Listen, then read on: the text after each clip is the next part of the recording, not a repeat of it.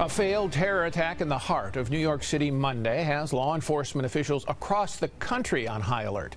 27 year old Akayed Ullah has been charged with federal terrorism offenses after he detonated a homemade pipe bomb in an underground subway passage during the morning rush hour. The Bangladeshi immigrant telling investigators that he, quote, did it for the Islamic State.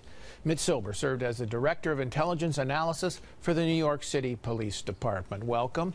And I'm really glad to have you here because you predicted this would happen 15 years ago. I think I can give you credit for that.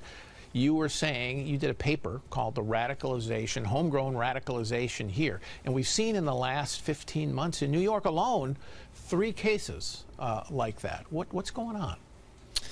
You know, Paul, we it's unfortunate sometimes when you're uh, a Cassandra and you're you're correct. Um, you know, we spent a lot of time looking at the trends in Europe um, in 2004, 2005, seeing how the threat was changing. And based on what we were learning in New York City from investigations, we realized, you know what? The trends in New York aren't that different. We're just a little bit further behind. Really? And unfortunately, and that was really the purpose of the report at the time to ring the bell and say, hey, wait a second. Sure, uh, Muslim immigrants to the United States integrate much better here than in Western Europe. That's part of the American dream, the American story. We're a melting pot. Right. But that doesn't mean that they are immune to radicalization. And we should be concerned because that's a story coming here. Well, if you look at the trends in New York after 9 11, of course, that horrific attack, you got the NYPD and the FBI, you, you, you found a few, you stopped a couple of attacks, but there's a long period right. where there really weren't any. There was the one guy in Times Square who tried to explode a car bomb and failed, but there weren't a lot of other attempts. Now, in the last 15 months, we've had three. Yeah. So uh, is this just a coincidence, do you think, or is this this is the kind of thing we're going to see more often? Yeah, it, it's it's a question that I think is now appropriate to begin to ask. I mean, when we when you think about from 9/11 to 2016, 2017, you essentially went 16 years right. without a successful attack in New York City. And if you're a bad guy looking at New York City, New York City looks invulnerable. It looks invincible. There is this right. shield around the city you know, on October 31st, unfortunately, that shield was pierced. And now it was demonstrated that, yes, an attack can be carried out in New York City.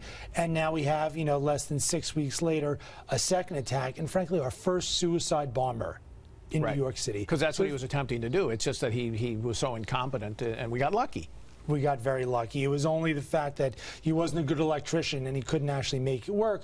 Otherwise, there was nothing to stop him from exploding uh, a few blocks from here. All right. So, is the NYPD, as you observe it, uh, doing something differently now than it did in the past? Look, I think you know there's a political question that has to be asked. You know, when Mayor De Blasio ran for mayor, essentially he ran to some degree against the NYPD. That was really who he positioned himself against.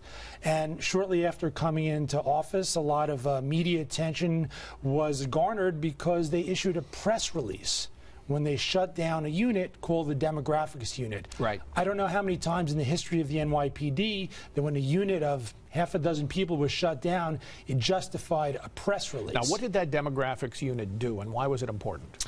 You know, it did a few different things, Paul. You know, one of the things that New York City learned from 1993 when, you know, former police commissioner Ray Kelly was the commissioner, you know, at that point was that, you know what, you need to understand where people from other countries might come and lay low before they launch an attack, i.e., before the 1993 World Trade Center attack, that they might be in places in Jersey City. Where do they um, hang out? Who, where, do, where do they get a meal? Where do they stay? Where do they? What mosques do they go to? Yeah, where, where, where do they? Where are you likely to find people who are their co, you know, countrymen, where right. they might stay to lay low?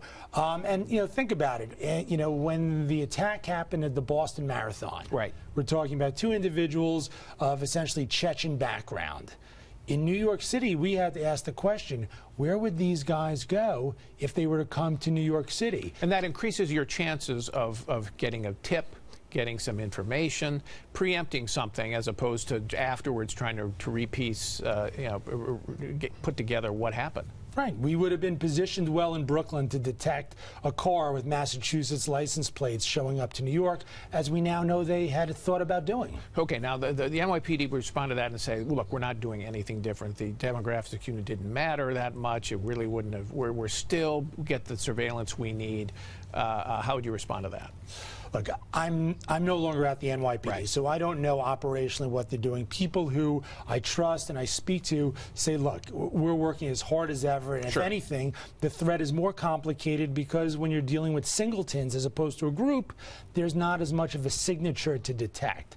You know, And I and I think that's a fair argument. yeah, I, I think it is too. I mean, we're talking about people who radicalize online, and they're not, you know, they're not uh, meeting in a bookstore or Right. in a mosque or someplace.